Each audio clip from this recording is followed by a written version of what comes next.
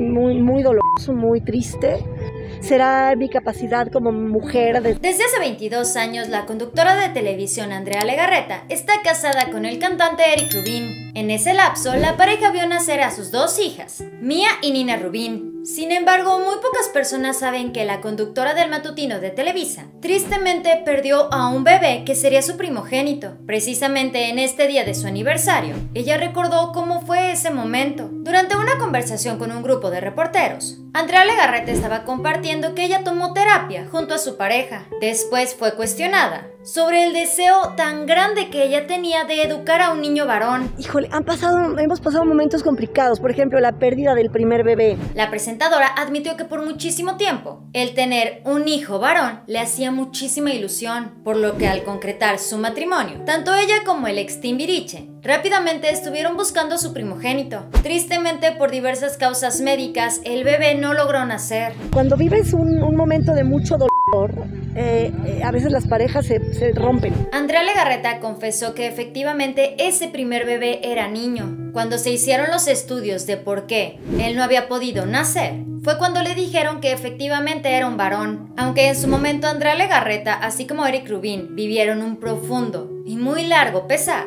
Tras la pérdida de este pequeño, el nacimiento de Mia y Nina transformó por completo su manera de ver la vida. Andrea confesó que desde ese momento ella dejó de idealizar cómo debería de ser esa familia perfecta que tanto quería. Andrea dijo que ella comprendió que la felicidad estaba en lo que ya tenía y no en lo que podía haber sido.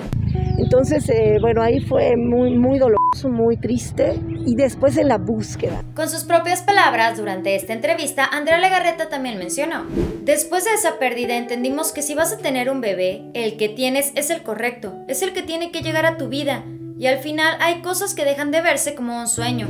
Al final tienes los hijos que debes tener, son los correctos y los tienes que arropar, abrazar, no encapricharte con el género del bebé.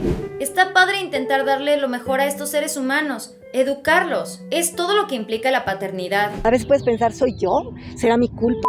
¿Será mi capacidad como mujer de ser madre? O... Ese mismo día de su aniversario número 22, la conductora sorprendió a Alex Timbiriche con una tierna dedicación que compartió a través de sus redes sociales oficiales. También emocionalmente entristece, eh, desgasta, te.